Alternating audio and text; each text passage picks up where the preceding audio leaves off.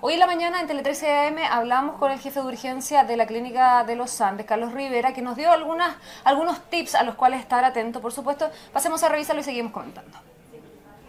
Este asesino silencioso me parece un muy buen nombre. Va produciendo daño en distintas personas en distintos momentos, pero generalmente es más o menos tiene una relación temporal, de acuerdo a la concentración a que están expuestas. Acuérdense que monóxido de carbono sube por lo tanto, las personas que están más arriba de la casa o del lugar donde se está produciendo la emanación van a tener más síntomas. Entonces van a aparecer probablemente cefalea, confusión, letargo, sensación como de desmayo. Y posteriormente incluso pueden tener estos trastornos de expresión e incluso pueden no estar en condiciones de marcar un número de emergencia.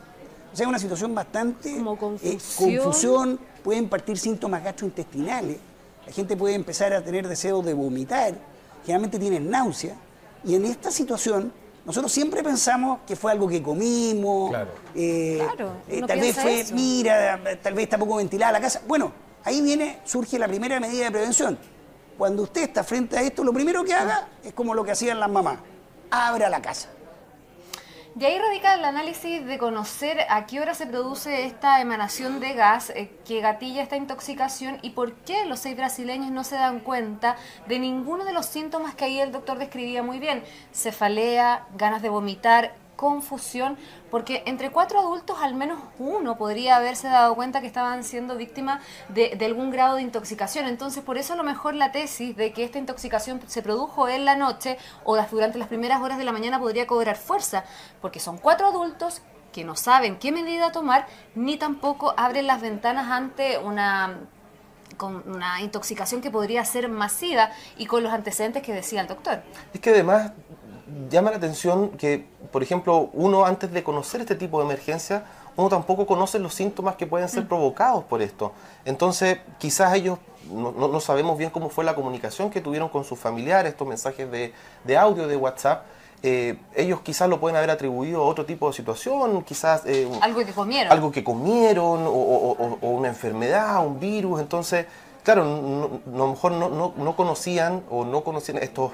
Eh, síntomas para poder, por ejemplo, haber prevenido y haber abierto una ventana. El doctor, ¿sabes lo que decía en la mañana? Era que cuando en un grupo familiar, en un lugar determinado, cerrado, se genera algún tipo de intoxicación y uno ve que el grupo familiar está siendo afectado, evidentemente, claro, puede ser un, algo que uno comió, pero eh, como condición uno es abrir inmediatamente las puertas y ventanas, cosa de generar corrientes de aire, porque podría ser que haya una emanación de gas no solamente en el mismo departamento, sino que a lo mejor por ahí en el edificio. Entonces es importante también hacer la ventilación y hacer eh, eh, el clic rápidamente de que si estamos siendo varios afectados de un mm. cuadro similar, hay algo que se está respirando en el aire que podría estar provocando la, intoxicación. Yo creo que también es además importante eh, volver a recalcar de que en nuestra página, en nuestro sitio web t13.cl, existe una publicación en donde eh, damos a conocer de cierta forma eh, cuáles son las herramientas que hoy día se pueden comprar en el mercado abiertamente para poder prevenir este tipo de situaciones. De hecho, en el noticiero también Ramón Ulloa junto con Santa María comentaban de que existe un dispositivo que cuesta aproximadamente 15 mil pesos que se pueden encontrar en el retail eh, que uno lo instala en el domicilio y este, este, este aparato detecta cuando hay una emanación eh, por sobre lo permitido de monóxido de carbono y se enciende inmediatamente una alarma, eh, un sonido bastante estridente.